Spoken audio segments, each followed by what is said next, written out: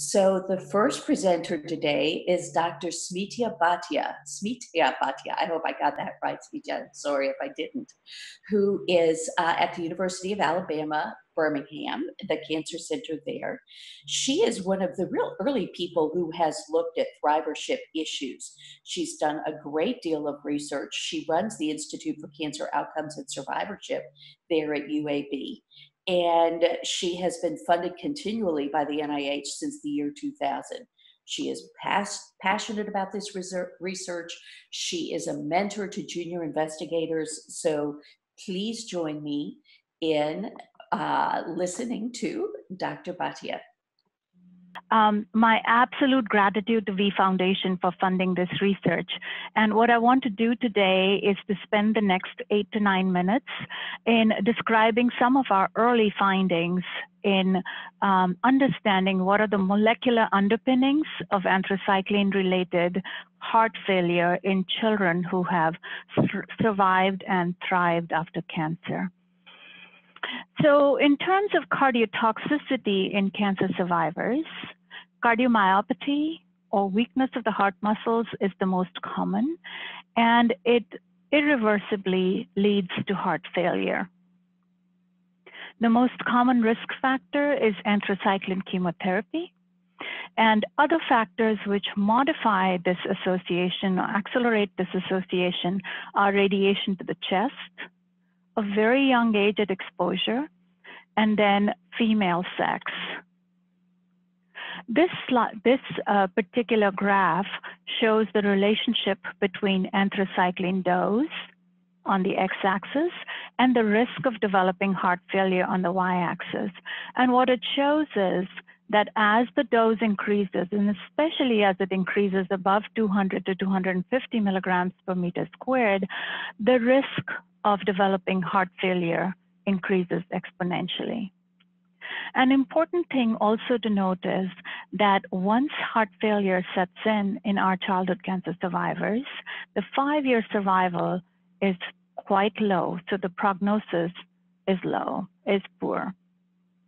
Another important thing to remember is that there is significant inter-individual variability in the risk of anthracycline-related cardiomyopathy, such that if you were to look at these green dots, each of them represents a case, and they are aligned with the dose of anthracyclines. If you were cut to cut the dose of anthracyclines at 250 milligrams per meter squared, you would find that a large number of these patients developed heart failure at a much lower dose of anthracyclines. On the other hand, if you were to take childhood cancer survivors who also received anthracyclines and were to see, um, and they did not develop um, heart failure, you find that a lot of them received a fairly large dose of anthracyclines and escaped that heart failure. And this brings up the question about the role for genetic susceptibility. Now, within the Children's Oncology Group, we've developed a study and carried it out now for over 15 years, where we identify individuals or childhood cancer survivors who've developed the cardiomyopathy or heart failure, and we match them to controls or childhood cancer survivors who've not developed heart failure. We ask them to provide us with DNA, um, either in the form of blood or saliva, and ask them to complete a short questionnaire describing other conditions, health conditions that they might have. We also ask the institutions to provide us with all the details of the treatments that these children might have received. We asked the sites to also provide us with echocardiogram reports in order to describe the heart failure that these patients have. And so far, we have close to about 200 cases of heart failure and 400 controls. And this is from 141 participating sites. Now, these patients um, the median age, the age at cancer diagnosis, roughly seven and a half years. Those who developed heart failure had a much higher dose of anthracyclines as compared to those who didn't. And when you were to look at their echocardiogram report, you find that this indeed did have a suppression of their heart function. This is just a schematic of what we think happens when anthracyclines are given. Higher doses of anthracyclines first have to be transported across the cell, and then they undergo a series of metabolisms and result in the formation of products that can increase what are called reactive oxygen species, toxic substances that cause mitochondria to not function well in the cells. This leads to the heart muscle cell death or apoptosis, um, leads to um, the, the remodeling, which is not very well uh, structured and, and doesn't uh, work well, and then eventually leads to heart failure. Um, also, we have to know that one of these products out here of the anthracycline metabolism is directly um, cardiotoxic to the heart muscle cell. Now, what we've also done with respect to research, we and others have shown is that there's a bunch of genes that are controlling the function of, say, the drug transport, preventing or enhancing the anthracyclines from crossing that um, barrier, the cell barrier, the cell membrane, um, responsible for metabolism here and here, um, directly serving as antioxidants and reducing this toxic reactive oxygen species, and then um, working on the iron homeostasis, the iron metabolism, and then preventing, preventing heart failure. And also finally, uh, working on the heart muscle contractility and preventing heart failure.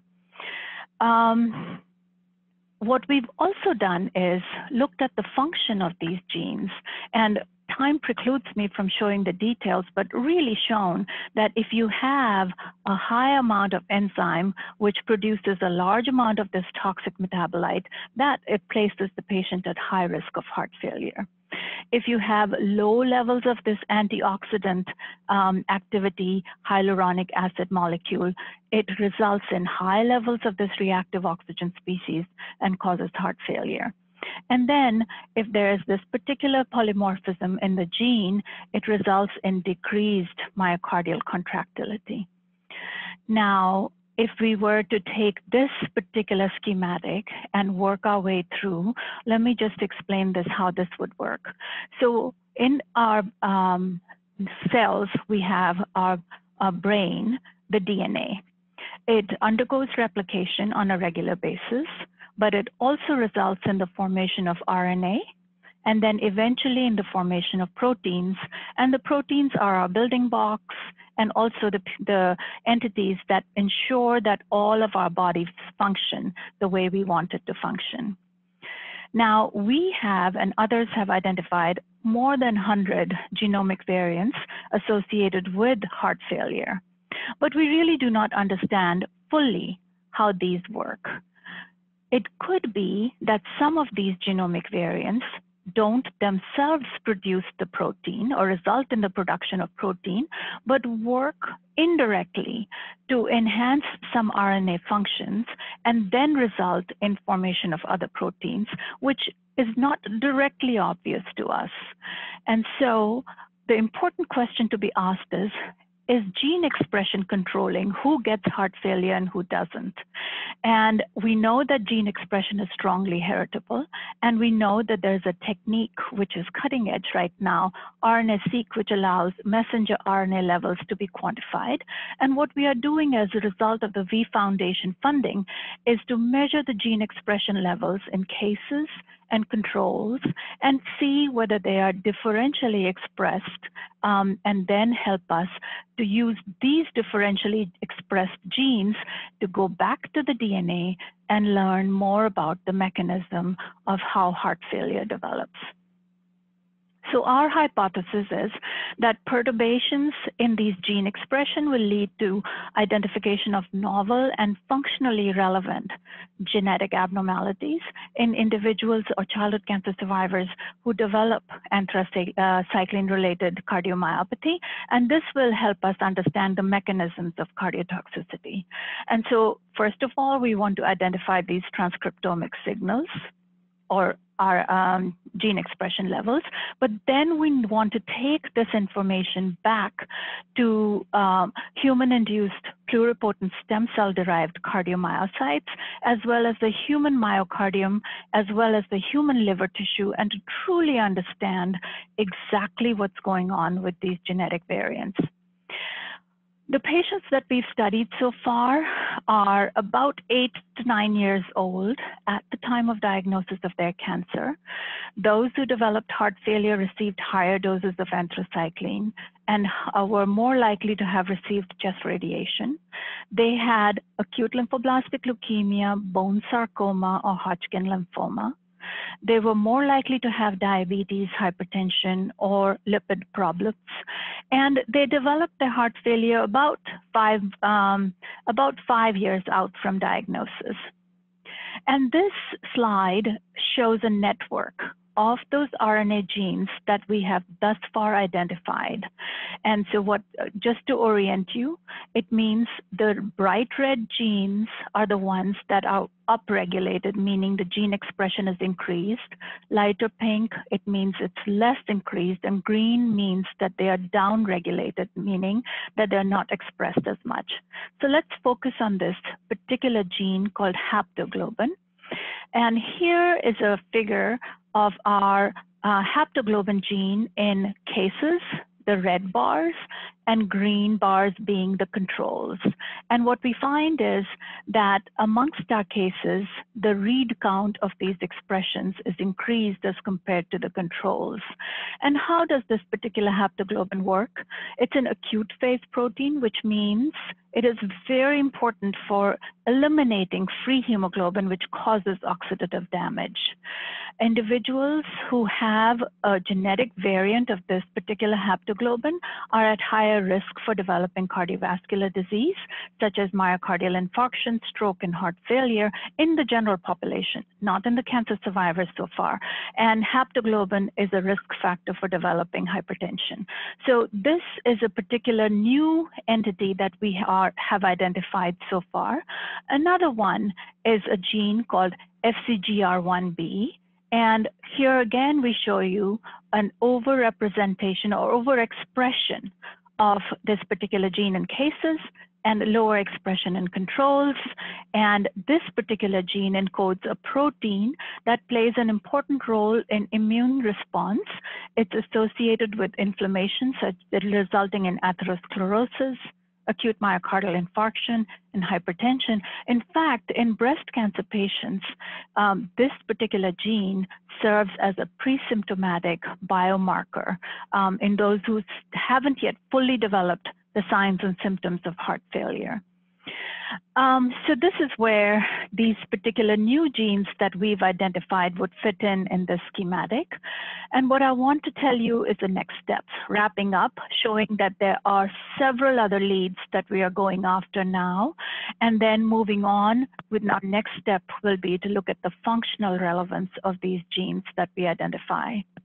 Why are we doing these studies? We really want to understand the underlying mechanisms for cardiotoxicity and develop effective treatments. We want to identify patients at highest as well as at lowest risk for developing cardiomyopathy, and this would help us provide personalized treatment to our patients. And eventually, our goal is to reduce the morbidity and mortality associated with anthracycline-related heart failure, and thus allow our cancer survivors to thrive. I want to end by thanking the V Foundation, but also our patients and their families. Um, without them, this work would not have been possible. Thank you very much. Thank you. Thank you so much. Uh, let me just put this back on. Thank you so much, Dr. Bhatia.